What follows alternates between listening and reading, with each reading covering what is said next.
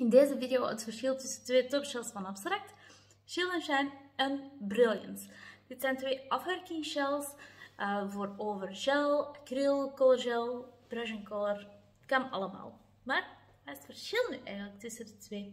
Wel, hetgeen wat eerste opvalt, Shield Shine hart uit zonder plaklaag, Brilliance hart uit met plaklaag. Dus hiervan moet je de plaklaag nog gaan verwijderen met de Green Tea Cleanser bijvoorbeeld. Daarnaast zijn er nog verschillen. De Shield and Shine die gebruik ik vooral voor over full color te zetten. Dat is super makkelijk. Je hebt je full color gedaan, je zet je topshell erover, klaar.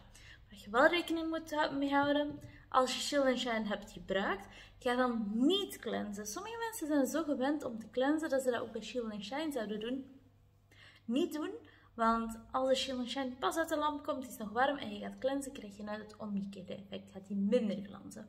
Hetzelfde met de applicatie van olie. Wacht daar een minuutje of twee mee als het product uit de lamp gekomen is.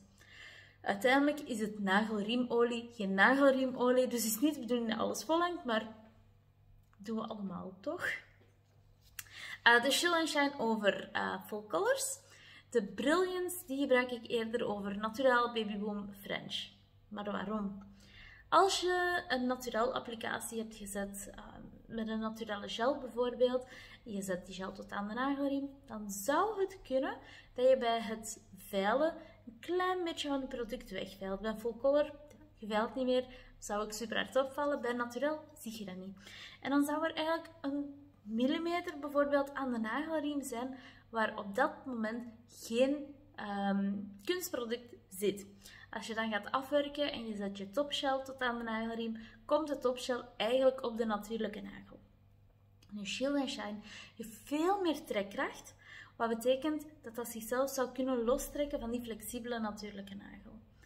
Dat resulteert erin dat je klant dan na 3-4 weken terugkomt met zo'n heel fijn wit lijntje aan de uitgroei. Dat willen we niet. Daarvoor gebruiken we in dat geval, het is de juiste, Brilliance omdat Brilliant ook op de natuurlijke nagel gewoon perfect blijft zitten. Dus vandaar, Shield Shine geen plaklaag op full color, Brilliant wel een plaklaag op Naturel, PB Home en French.